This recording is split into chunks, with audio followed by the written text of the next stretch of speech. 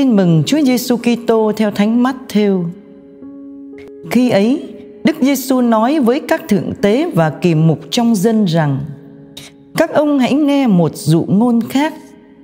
Có gia chủ kia trồng được một vườn nho, chung quanh vườn ông rào rậu, trong vườn ông khoét bồn đạp nho và xây một tháp canh. Ông cho tá điền canh tác rồi chạy đi phương xa Gần đến mùa hái nho, ông sai đầy tớ đến gặp các tá điền để thu hoa lợi.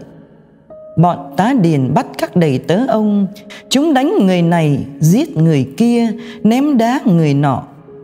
Ông lại sai một số đầy tớ khác đông hơn trước, nhưng bọn tá điền cũng xử với họ y như vậy.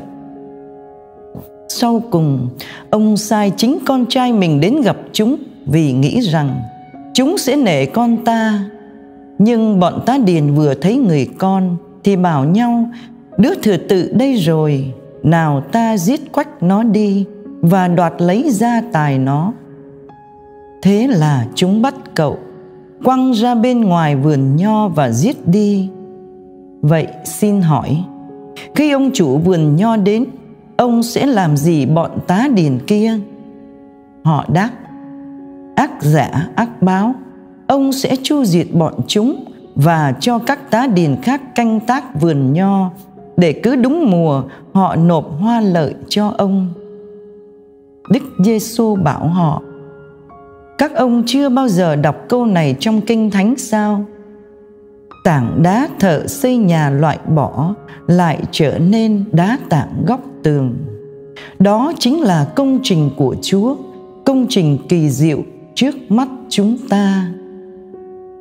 Bởi đó tôi nói cho các ông hay, nước Thiên Chúa, Thiên Chúa sẽ lấy đi không cho các ông nữa, mà ban cho một dân biết làm cho nước ấy sinh hoa lợi. Nghe những dụ ngôn người kể, các thượng tế và người Pharisêu hiểu là người nói về họ. Họ tìm cách bắt người, nhưng lại sợ dân chúng, vì dân chúng cho người là một ngôn sứ